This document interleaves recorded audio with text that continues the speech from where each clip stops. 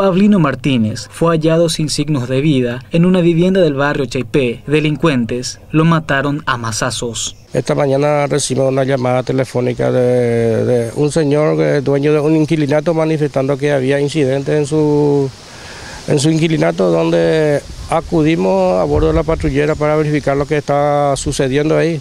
Una vez en el sitio y llegado también el dueño del inquilino nos manifestó que eh, dentro de una de las piezas donde eh, eh, habita su hermano había incidentes, nos autorizó, ingresamos al local, encontramos a uno de los sujetos que estaba en aparente estado etílico durmiendo. Procedimos a la prevención de los sujetos, también la incautación de los objetos que tenían ahí en el interior de la pieza.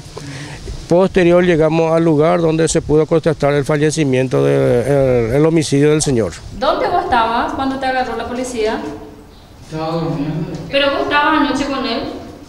Yo aparecí a las 4 por ahí. ¿Y quién te llamó para ir a la casa? Yo pasé por ahí, él estaba tomando.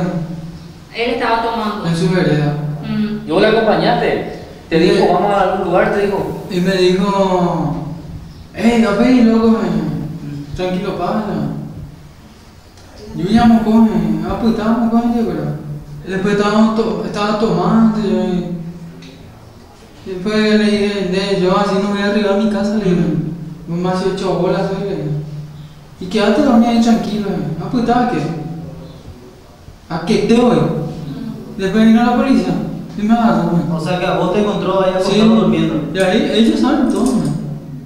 Los uniformados fueron aprendidos por agentes policiales de la comisaría 114 del barrio Cheipé y en el poder de los mismos se encontraron los enseres de valor robados de la víctima fatal.